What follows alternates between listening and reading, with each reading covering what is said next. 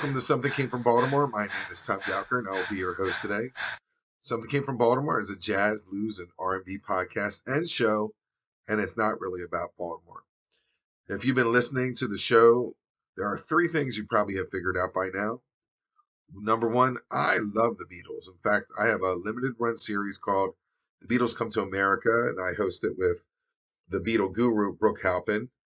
And we discuss all the US release albums. And I have to admit, it's a pretty good podcast, and you, you have to check it out. It's available on Spotify, iTunes, etc. The link is in the show notes.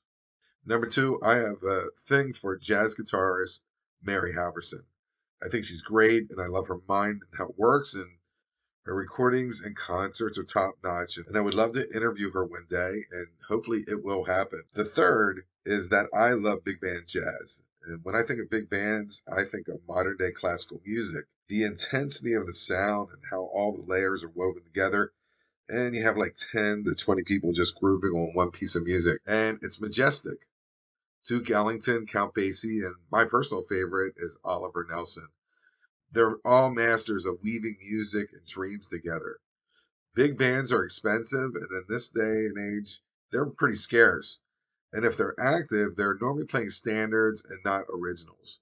My ears are always open for a big band recording that is awesome, and I found one. It's a great recording that I want you all to listen to. It's called Ari's Funhouse by the Ben Markley Big Band featuring Ari Hoenig. Ari Hoenig is an amazing jazz drummer from Philadelphia and during the years has released a string of amazing albums. Most of them had a guitar based jam feel to it. Long story short, Ben Markley played for Ari Hoenig as a musician and learned his music and adapted it to a big band sound. And we have this album, Ari's Funhouse. Let's get into the interview with Ben Markley. Let's listen to a sample of the second track of Ari's Funhouse. It's called Lyric.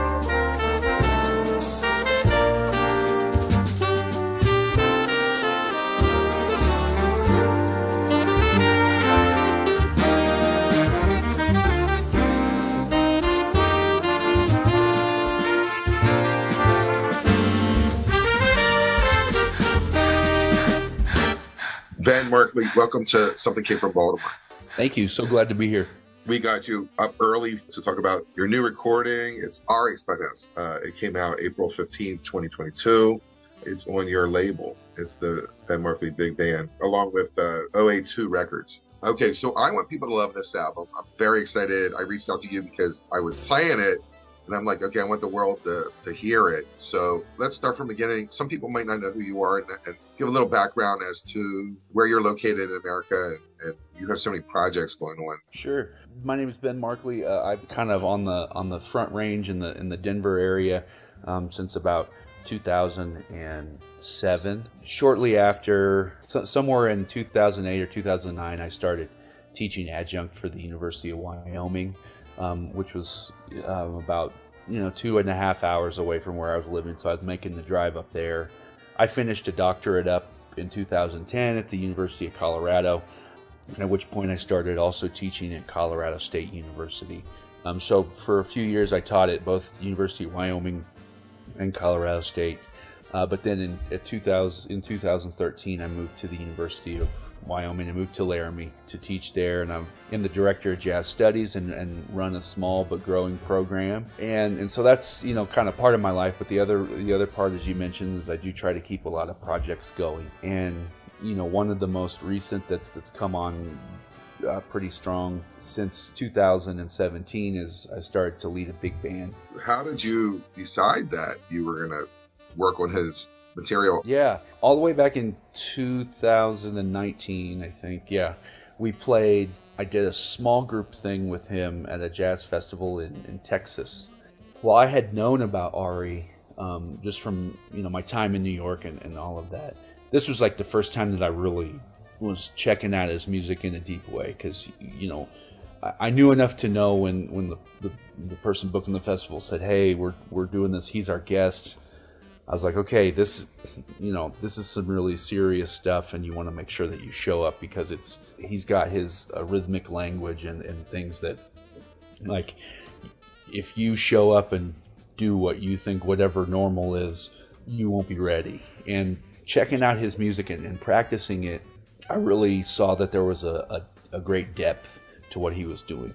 You know, both harmonically, but but also you know melodically in, in his in his compositions. So with that, uh, you know, a few a few months later after after this gig, I just asked him. I said, "Hey, is this anything that you'd be interested in doing?"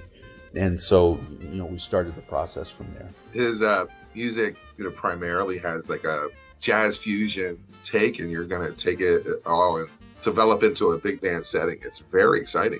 Was that the intent? And we're going big band on this?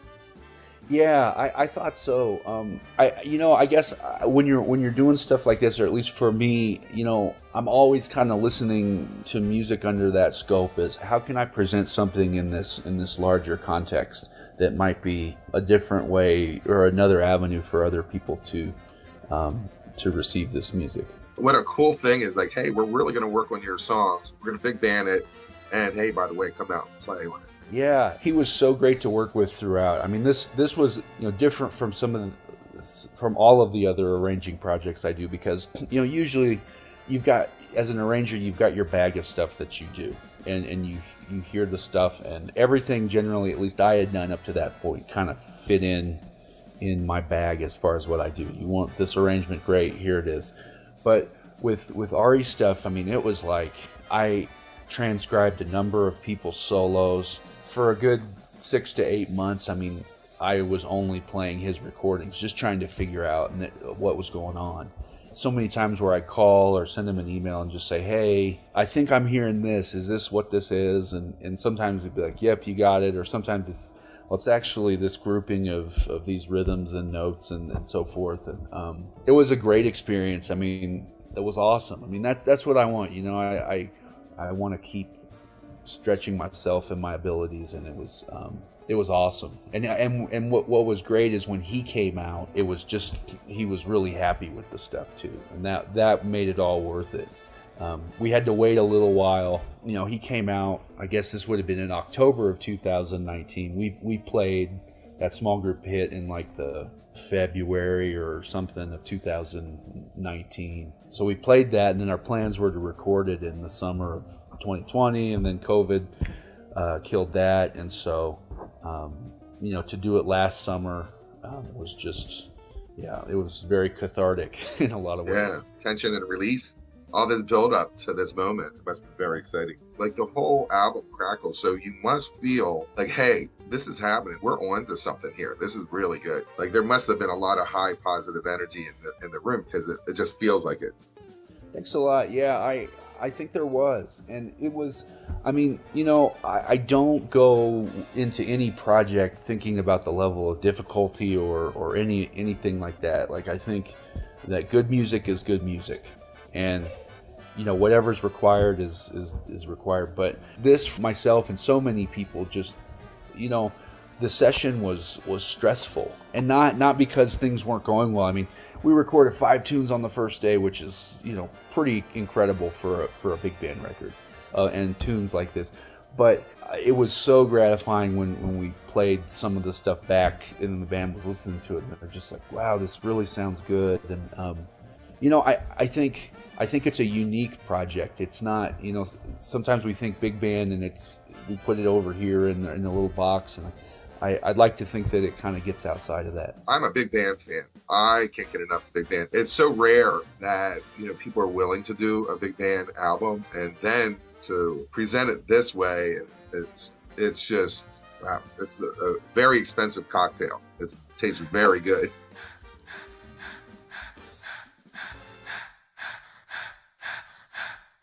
We're going to get into this album a little. We're going to talk about some of the tracks. I like to see the contrast between his original song and then how you developed it.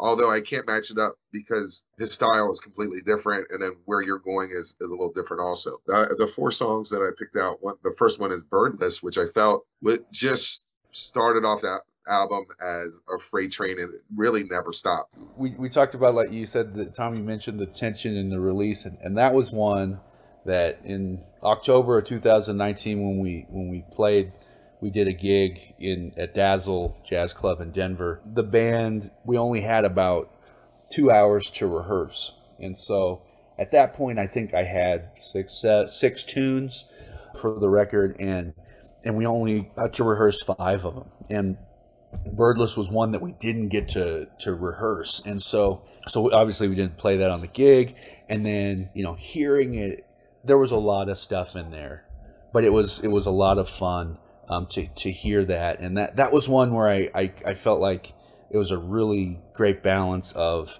you know taking the great tune that he wrote because there's so much just in the tune that he wrote but also being able to put my own voice in there and, and kind of put a stamp on it. I, that was a lot of fun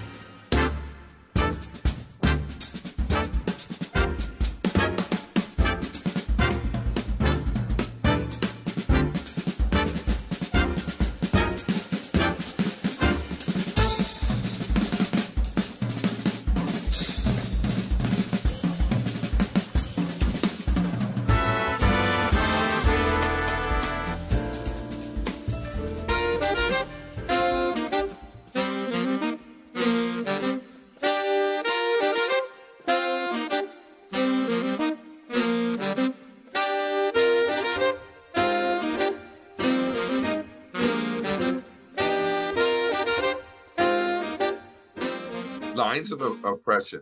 The recording is just as a classic. Originally, it's a jazz fusion and with heavy guitar work, and it's it's really awesome. So you took this and you really worked this thing. Must have blew his mind too, the way it was turning out. Yeah, he was he was pretty happy with it. And this this is one I think to the to the listener that you don't necessarily hear, you know, upon first listen like what what all is going on. This is a thing where the, the just the introduction in itself like if you're not looking at the music it, it sounds easier than it is. And so that was one that myself and the whole band had to spend a lot of time kind of getting together and then once we did it it was like oh this is this is super cool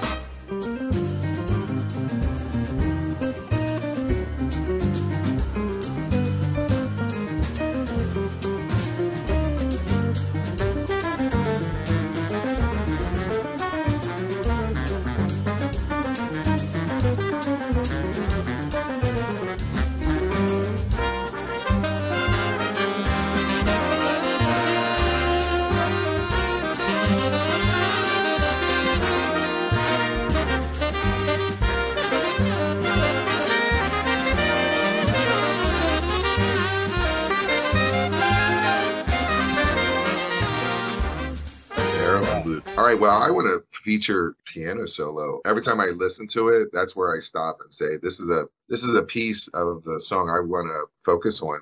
Oh well, well, thank you. That that makes my day because that was something. So this this tune is in is in eleven eight, and you know to deal with those groupings, I mean that was that was tough. And and on you know original recordings of of that with his band and stuff, it you know they play they introduce the melody and play play the parts of it. But then with the solo um, you know for a while the band just drops out and it's piano. And as an arranger you know when you're ma- when you're doing a project like this you've got a great band. You want to make sure that you give everybody um, solo space and stuff like that. But just just with the sheer difficulty of that I, I joked with a lot of friends like, oh, if if I give this to this person, you know, they're all gonna they'll never talk to me again. So for for me, this was like, it was it was a good you know six seven months to really to really be to the point where I could play something that I felt like said something. And and that that was a point where Ari was super cool. I, t- I took some lessons with him you know, just about playing over that and, and so forth. Um, uh, but I was really, I was really happy with, with how that came out. I mean, we did, we ended up doing three takes of that tune just because it was, you know, some difficult stuff. But what was great is like we came out and, and I was really happy with the three takes as far as just soloistically what I what I played. I mean, it was when they were take when we were selecting takes, it was nice to hear the other folks say, "Wow, all of these are really good. You could you could use all of them.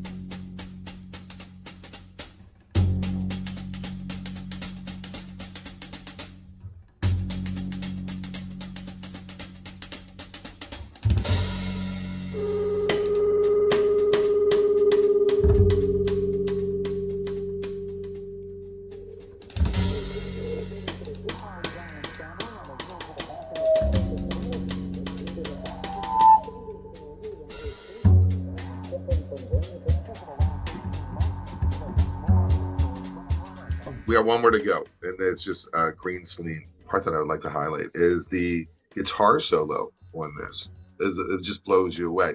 It's interesting how all his originals had guitar all over it, and it feels really good in a big band setting. It, it's like it elevates the song even more because it just adds a little more energy.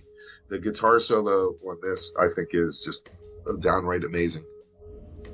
Yeah, me me too. Um, and and that's you know I've mentioned some people's names, but Steve Kovalcheck's right at the top of about people who live you know along the Front Range who are just who are world class players, and he wow his his solos you know on the on the record were just just incredible. Um, but he was someone who you know you mentioned guitar and Ari's music and stuff. Not not only did did Steve get the language but but just sonically, uh, you know, changing the sounds of his guitar, um, you know, to fit different things, whether it's from Birdless or his solo on Lyric or Green Spleen. I mean, man, it just, you know, when you hear that, I just, yeah, how, how could you know? I'm I'm obviously biased, but how can you not love it? And he just, I just think he crushed it and, and really, uh, really found it. So.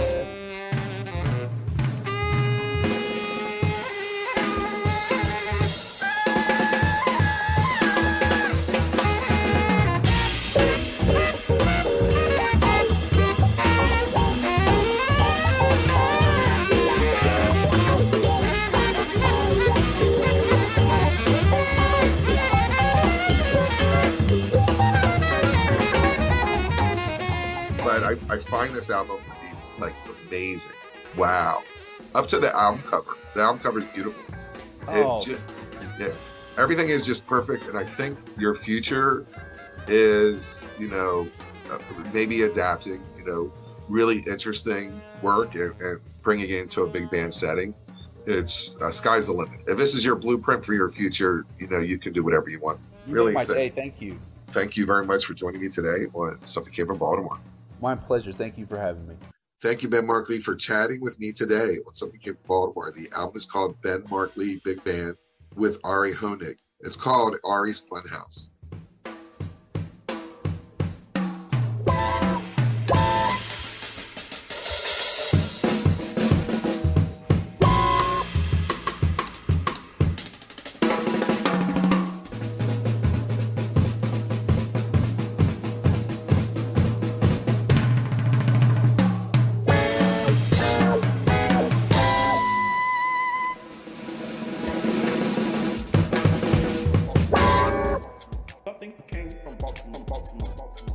Show is over. Everyone, please have a great day today.